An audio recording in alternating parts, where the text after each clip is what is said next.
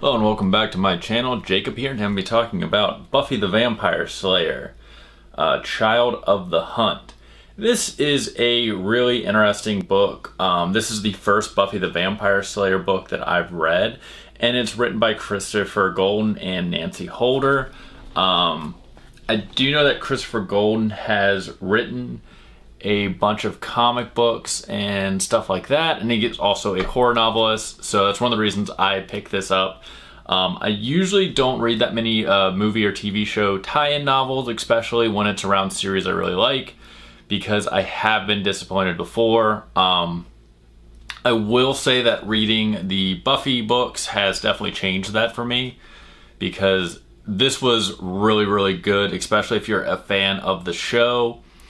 Um, it definitely felt like it added, it basically felt like an additional episode, if that makes sense, which I think uh, is what a TV tie in novel should feel like when you're reading it.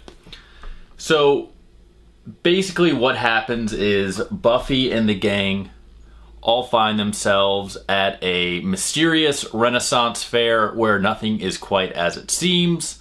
Um, and of course, a Renaissance fair that comes to Sunnydale is for sure to have something evil going on behind it. Um, I don't want to spoil this book for you because if you are a fan of the series, uh, I definitely think this is a book worth reading because it does definitely feel like an additional episode. I don't remember exactly what season this takes place between.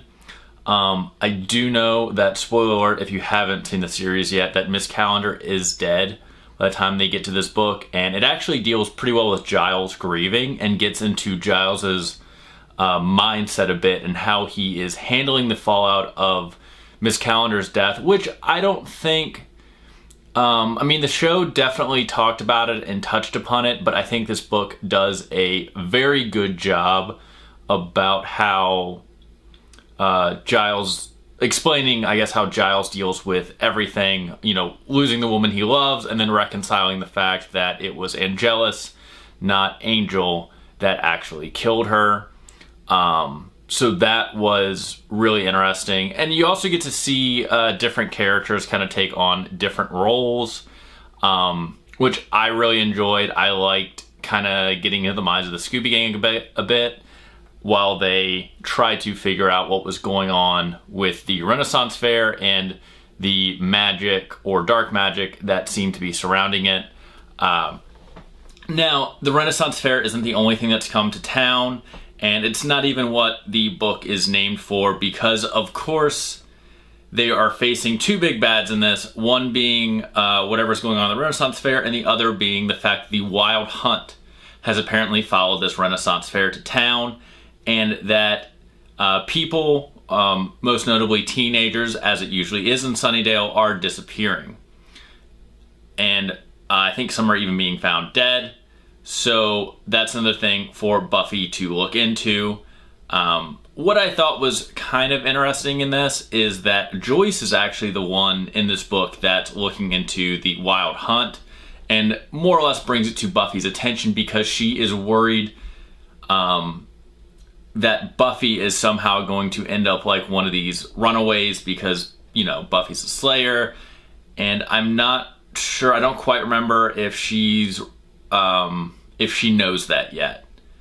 Um, because if you are a fan of the show and you have seen the show, you do know that at some point Joyce does discover that Buffy is the Slayer, even though she never seems to fully grasp what that means in the full concept of it. Um, yeah, I love this book. Uh, you get to see, uh, not really a spoiler alert because I've already said the Wild Hunt comes, but you do get to see Buffy spar off against the Huntsman. Very um, Witcher style, if you're into that series at all. If you do like Buffy the Vampire Slayer, I can't recommend getting this book enough. I think this is a great entry into the Buffy tie-in novels. Uh, there are some actual like trilogies and series within the Buffy tie-in novel universe, as well as uh, some Angel novels, which I've picked up. I'm gonna try to read as many of these as I can. Uh, like I said, this one was a lot of fun, so I'm hoping the others will be as well, as they all seem to kind of uh, take place in different seasons.